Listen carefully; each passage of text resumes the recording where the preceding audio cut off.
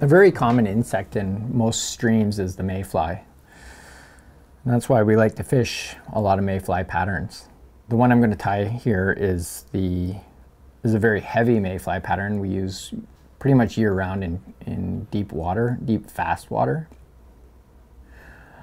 I designed it because it's extra heavy and gets down to the zone where a lot of our fish are, three to six feet of water. A mayfly uh, nymph will live on the bottom of a river uh, and when it's ready to hatch will release the rock and swim to the surface of the river at which point it will hatch and fly off as an adult. During the transition from the bottom of the river to the surface is when it becomes trout food. So we need to get that fly to the bottom and in our rivers they're quite deep, four to six feet, quite fast flowing. So we're going to tie it with a 3.8 to 4 millimeter tungsten bead, the original with gold. We've got some 0.015 lead-free wire uh, for the body underneath the pheasant tail that we'll be tying with. We have some, again, 7T denier UTC fluorescent fire orange thread, some extra small copper wire, and a nice piece of pheasant tail, which is a great natural color and works well to represent the mayfly nymph. And finally, a little bit of CDC uh, for a wing collar part of the fly. These feathers, when they enter the water, will tend to grab air and create life below the surface. So I like to integrate uh, CDC into all of my natural nymphs, pheasant tails, uh, caddis fly patterns, things like that. The beads we use on these jig hooks are slotted so that they can make the bend when you're, when you're putting the bead onto the hook. A bead that does not have a slot will not fit onto a jig hook very well. So whenever you buy beads for jig hooks, make sure that there's a slot on the bead. With this fly in particular, we're going to tie in some some lead-free wire. And I want to create a cone shape so that it's shaped like the actual nymph. And to do that, I'm going to just begin tying in by wrapping the wire around the hook 11 times. Three, four, five, six, seven, eight, 9, 10. And I keep feeding that up to the, that wire that's wrapped up to the bead to pack it in.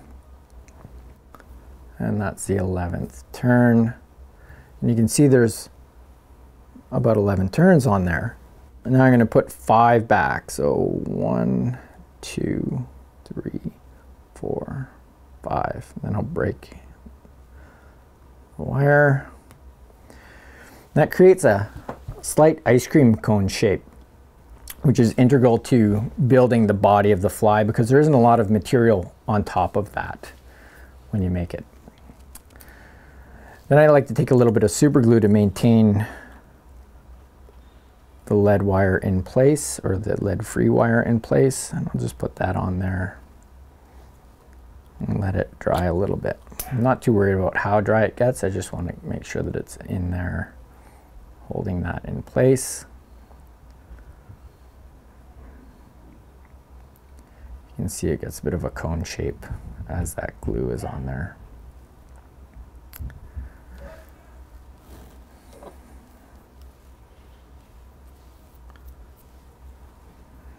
I'll tie in behind the lead.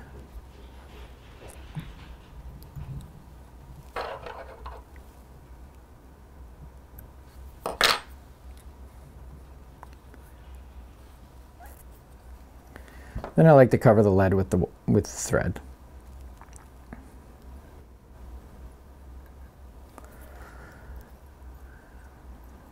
It's actually lead-free wire. I keep saying lead, but that's just because it all used to be lead. Now it's not. Any extra glue, just take your, just take it off of there. Don't need it. Perfect. Spin a couple times, cover it all up. So if your fly blows apart while you're fishing, it's actually okay. I've caught a lot of fish with a red underbelly on the uh, on the fly when the pheasant tail begins to fall apart, and and with the use of the copper wire in the build of the fly, sometimes that pheasant tail will break apart and it'll act more like legs, probably something still alive. So don't stop fishing this fly once it starts falling apart. Sometimes it actually works a lot better. So now that you've built the body, we're going to pull off probably eight pieces of pheasant tail. Make sure they're lined up as nicely as possible and you want it to stick out the back of the hook about the same length as the hook bend. Let's tie that in one, two turns. Hold that there.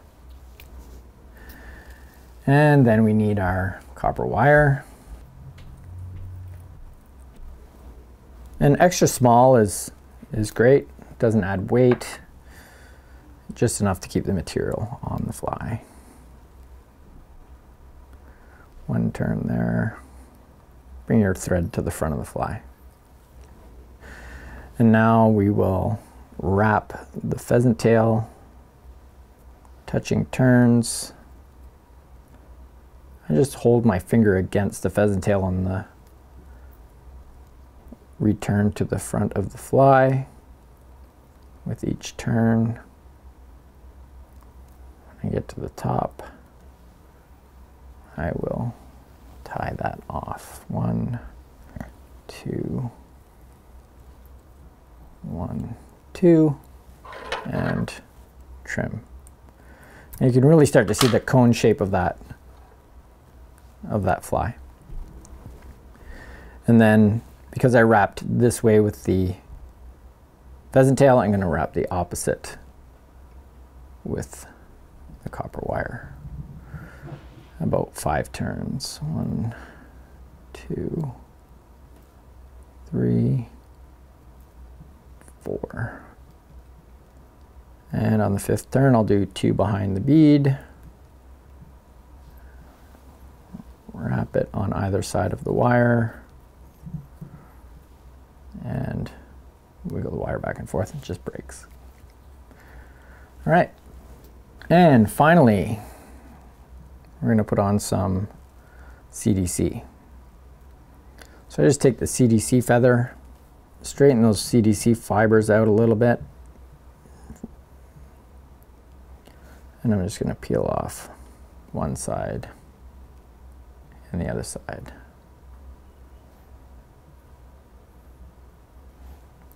Line them up so that they come to the back of the fly. One turn two turns, fold them back, one, two turns. It's okay, they break off a little bit. And whip finish on one, two, three, four.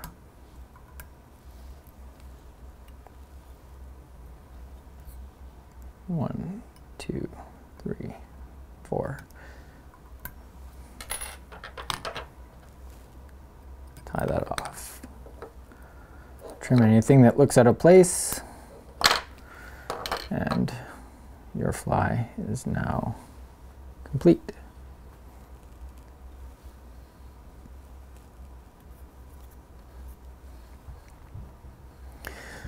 These fibers here will grab air bubbles when that fly sinks, which will give it a little bit more life underwater. And the added weight will allow it to sink super fast, which is the goal of this fly. Get it down, get it in front of the fish, and keep your line nice and tight so you can feel every change that occurs during the presentation. And set the hook every time that fly stops moving.